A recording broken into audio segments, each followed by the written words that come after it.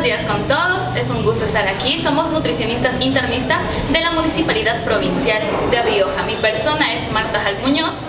Y mi nombre es Cristabel Vázquez. En esta oportunidad les venimos a compartir información valiosa acerca de las loncheras saludables debido al regreso a clases este nuevo año 2022. Enseñaremos acerca de lo que alimentos son importantes y fundamentales para que las mamás puedan eh, elegir y mandar a los niños a las instituciones educativas.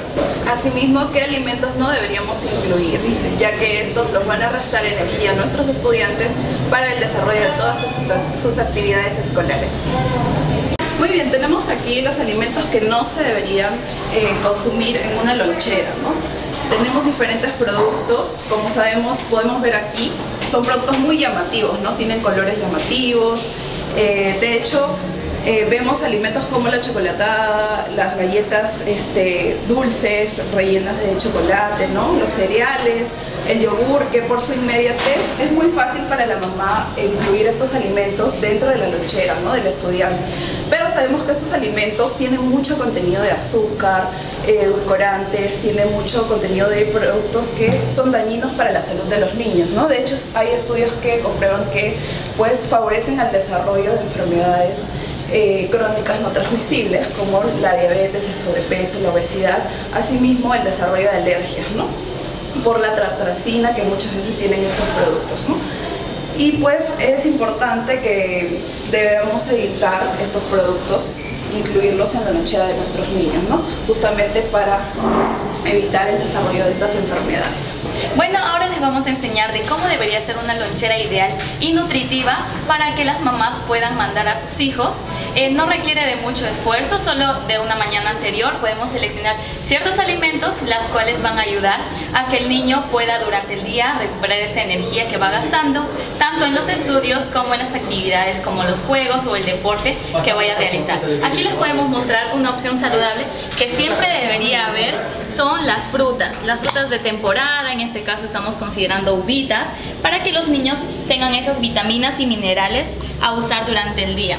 Asimismo necesitan alimentos eh, energéticos, en este caso estamos considerando un poco de choclo y la proteína también que le va a ayudar, como el queso, podemos utilizar opciones como el pollo, un poco de pescado, huevo, entre otros. Y no olvidarse también algo muy importante que son las grasas eh, saludables, como tenemos en esta oportunidad, el maní, que es un fruto seco que es muy fácil de llevar y también que a los niños les gusta, podemos también considerar en otros menús, como eh, las la palta, de acuerdo a la preparación que la mamá se ingenie y que al niño también le guste, porque la idea es que participen ambos.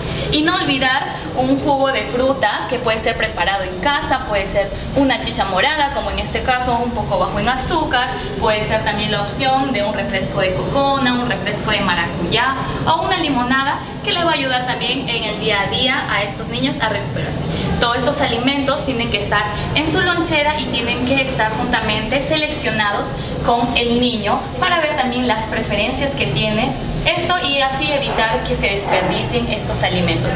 Una buena lonchera va a asegurar que el niño tenga un mejor rendimiento durante el día, menos cansancio y así pueda realizar sus actividades. Eh, la idea de la lonchera es que no se debe reemplazar el desayuno. Muchas veces erróneamente creemos que a falta de tiempo la mamá opta por mandar la lonchera y no es así. Debemos organizarse bien de que los niños tomen desayuno en casa y así mismo tener este adicional en el colegio o en la escuela donde ellos estén y así asegurar un buen aporte de nutrientes. Otra de las opciones saludables también que podemos tener en cuenta es considerar una papa zancochada con queso o con huevo de acuerdo a la preferencia del niño. Asimismo, agregar una fruta es fundamental que nos va a brindar eh, vitaminas y minerales, en este caso estamos mostrando un durazno y un refresco de tiempo que en este caso es un agua de piña. Todo esto junto nos va a asegurar la energía necesaria que el niño necesita durante el día. Otra opción también podría ser considerar un plátano de isla, un refresco de cebada y un pan con tortilla de brócoli, el cual nos va a asegurar también proteínas y la verdura que es el brócoli. Asimismo, una de las recetas más comunes y más accesibles que podemos realizar es el pan con pollo. Podemos considerar verduras, tomate, lechuga, según la preferencia del niño, una chicha morada o un refresco de maracuyá y la infaltable fruta que debería llevar el niño puede ser picadito o en fruta entera que sea mayormente accesible a este pequeño para que pueda esto asegurar lo que es la energía que necesita para jugar y estudiar. Vemos que en estos ejemplos están cumpliendo lo que son los alimentos energéticos, los formadores, los reguladores y el líquido como puede ser el refresco o el agua, que siempre tienen que estar bajos en azúcar.